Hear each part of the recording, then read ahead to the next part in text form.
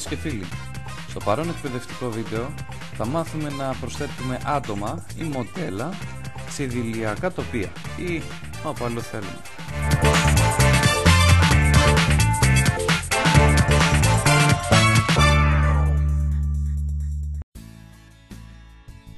Αυτά όμως τα μοντέλα θα πρέπει να έχουν φωτογραφηθεί σε background ομοιόμορφου χρώματος. Για παράδειγμα γκρι, μπλε, α, πράσινο, καφέ, ομοιόμορφο όμως.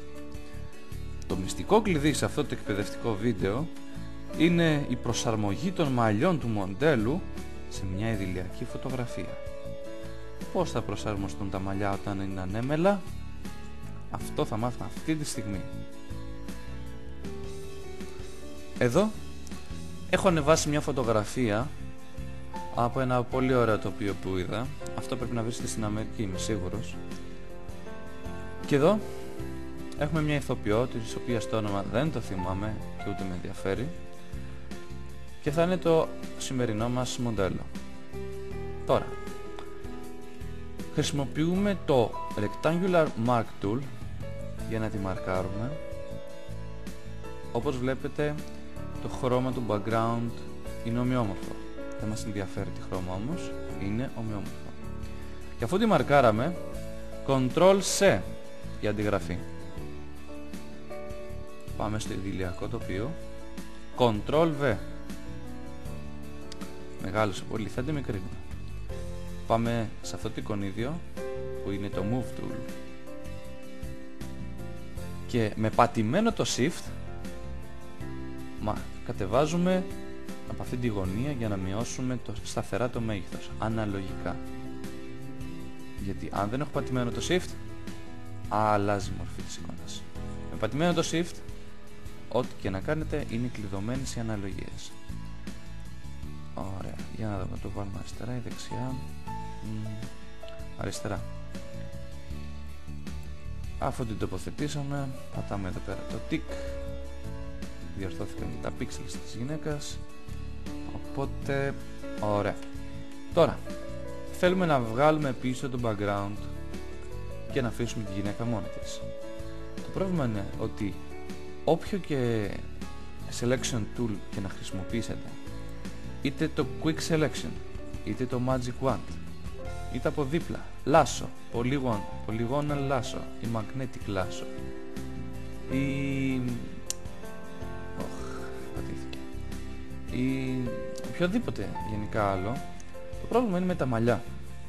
Τα μαλλιά έχουν πρόβλημα. Είναι ανέμελα. Ακόμα και παραμικρή λεπτομέρεια να έχετε τα pixels επειδή είναι τετράγωνα δεν θα σας βοηθήσουν να τα μαρκάρετε σωστά. Θα σας δώσω ένα παράδειγμα. Magic Wand. Πατάω εδώ πέρα. Εδώ υπάρχει πρόβλημα. Δεν έχουμε μαρκάριστεί τα εσωτερικά. Θα τα μαρκάρω δεν μαρκάρονται όλα. Και εδώ υπάρχει πρόβλημα. Και εδώ υπάρχει πρόβλημα, όπως βλέπετε ε, οι γωνίες δεν έχουν μαρκαριστεί σωστά. Ctrl D για να, για να ξεμαρκάρω.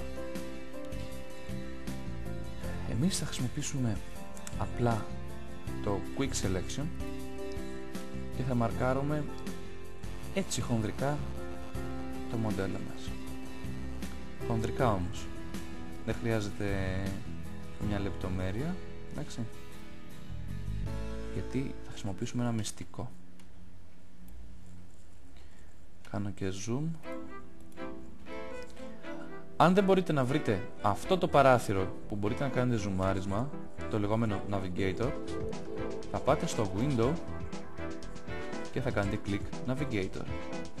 Θα το μεγαλώσετε όσο εσείς χρειάζεστε. Ένα μέγεθος για να βλέπετε και θα το χρησιμοποιείτε όπως το χρησιμοποιώ εγώ. Λοιπόν,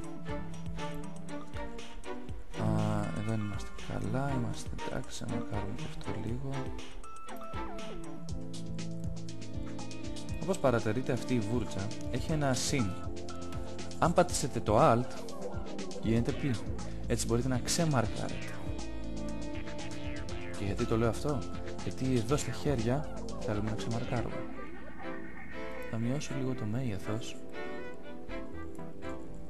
Μ, όχι. Μια χαρά.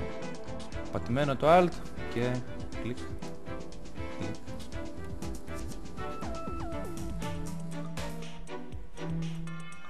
Πάμε και εδώ, πατημένο το Alt, κλικ. Α, έτοιμο. Ένα λεπτό πρέπει να κάνω και αυτό. Ωραία. Αφού έχω κάνει ένα χοντρό μαρκάρισμα εκεί πέρα, το μυστικό τώρα ξεκινάει. Σε αυτό το, σε αυτό το ύψος υπάρχει το κουμπί Refine Edge. Κλικ. Παρατηρούμε ότι το μοντέλο μας περικυκλώθηκε από ένα μαύρο background. Στο View μπορούμε να δούμε ότι μπορούμε να το μαρκάρουμε με διάφορα backgrounds ανάλογα με τι μπορούμε να βοηθηθούμε. Black and white δεν βοηθάει με τίποτα. Εδώ μπορούμε να το δούμε αν έχει φύγει το background και ότι έχουμε μαρκάρει να έχει κολλήσει πίσω στο ηλιακό τοπίο. Όχι, όχι ακόμα. Δεν είμαστε εκεί στο αυτό το στάδιο ακόμα. Εμείς για να μπορούμε να βλέπουμε τις διαφορές της φωτογραφίας της γυναίκας θα πατήσουμε on black. Έτσι.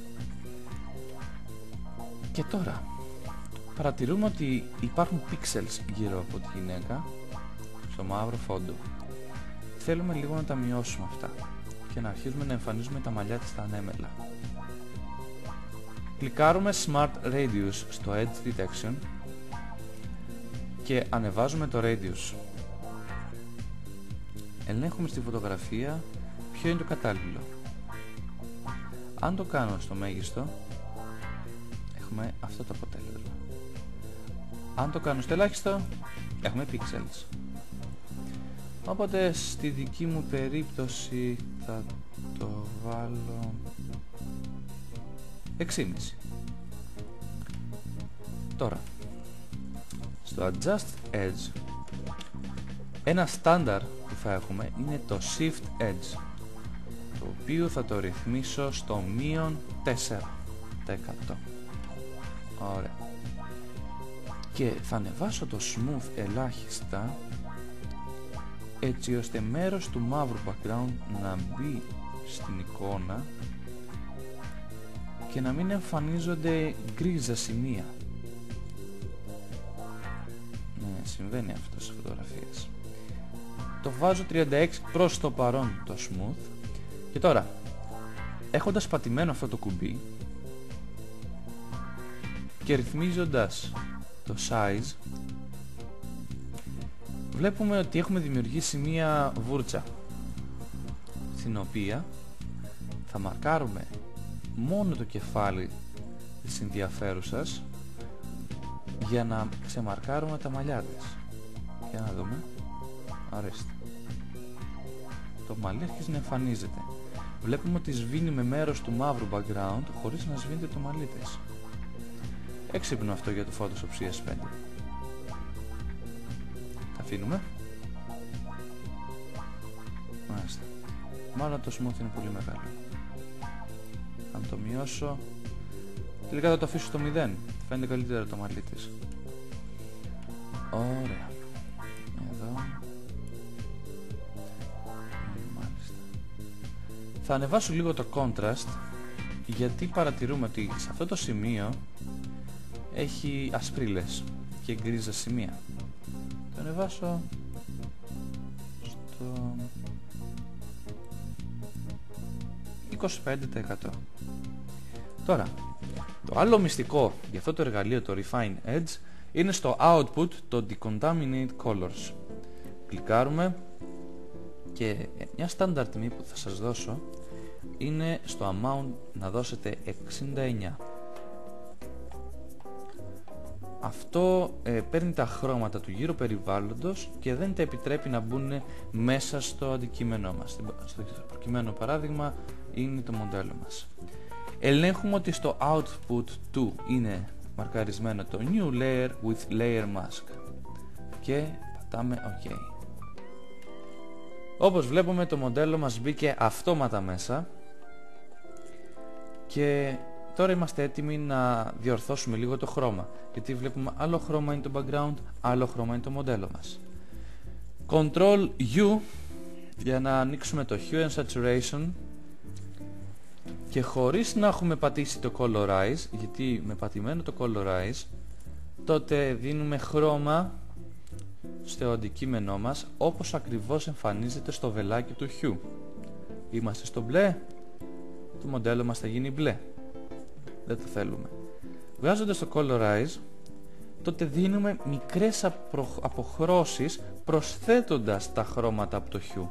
Δηλαδή, βλέπουμε ότι αν είναι προσθεμένο, προσθεμένο το γαλάζιο, έχουμε αυτή την απόχρωση. Αν προσθέσω το πράσινο, θα έχω αυτή την απόχρωση. Οπότε βλέπουμε ότι στο background έχουμε κάτι σε mauve καφετή, οπότε εγώ θα το πάω... Α, πέρα και ένα στενοφόρο απ' έξω. Θα το βάλω στο μείον 13. Έτσι. Και θα ανεβάσω λίγο το saturation. Α, στο 10... Όχι. 14. Και lightness επειδή είναι βράδυ θα το μειώσω.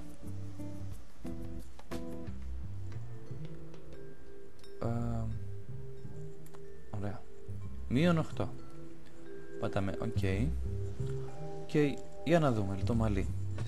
Όπως παρατηρούμε, το μαλλί της είναι πολύ καλά βαλμένο. Οπότε, αυτή είναι η εικόνα. Αυτό είναι το αποτέλεσμα.